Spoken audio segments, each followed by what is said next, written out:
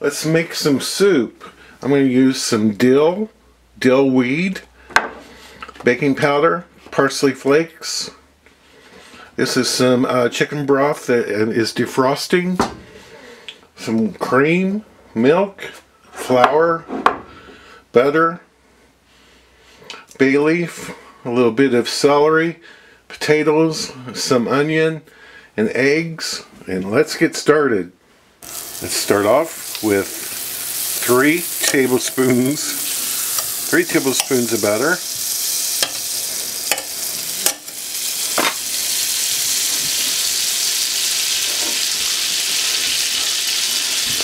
I'm going to add my potatoes.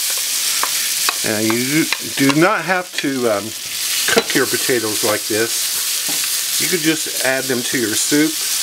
But I like to get a little bit of crust on the potatoes and the onion and celery. We'll add that in there.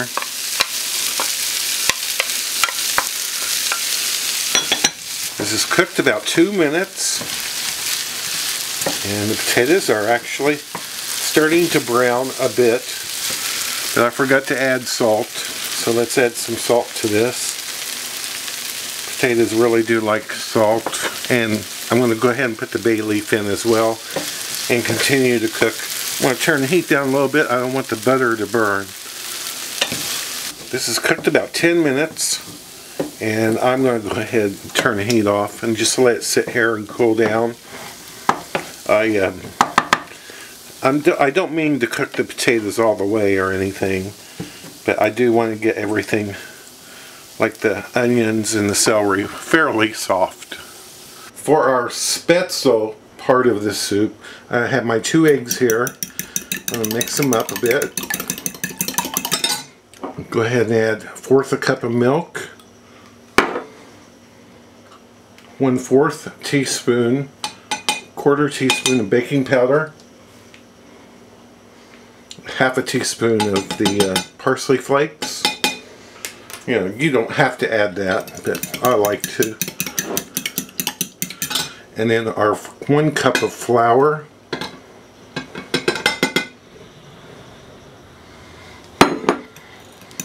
Mix this up. You can mix this up while the potatoes and the onions are cooking. I transferred the onions, potatoes to a pot. I'm going to add four cups of chicken broth. You see it's still a little bit frozen. Well, it's simmered like that for about five minutes. I'm going to add some pepper because I forgot. And it's a fourth a teaspoon of white pepper. You can use black pepper a fourth a teaspoon of the dill. Let's just stir that in. Okay. And now we're going to add our spätzle.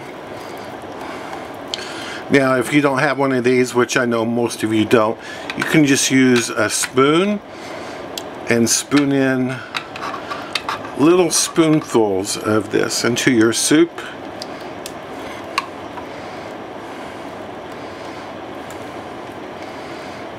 Get that in there.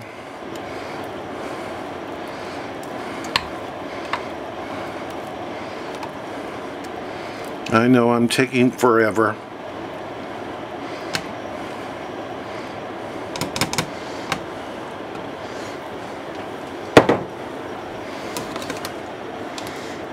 Just uh, move this across.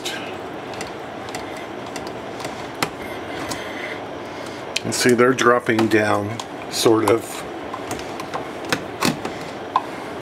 into the soup there. I think I'll just take that off. And go like this. This will be fine.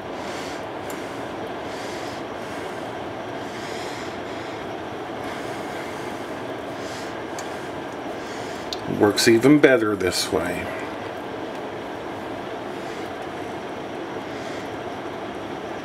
So I'll get the rest of these in there and cook it. Let it simmer at least five minutes. I'll test it in five minutes to see if the spätzle are done.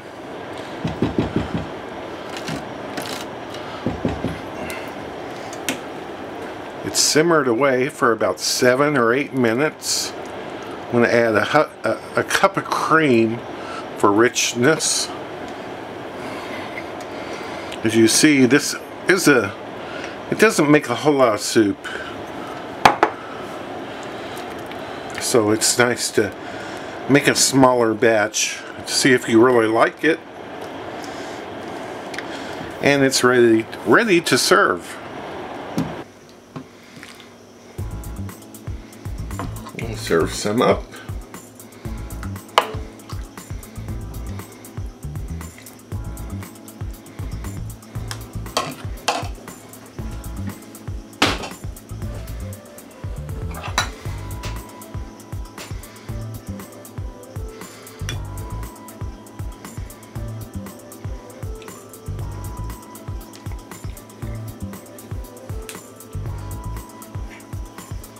Mmm. Mmm. It's hot. And it's good. It's really good. This will warm your belly.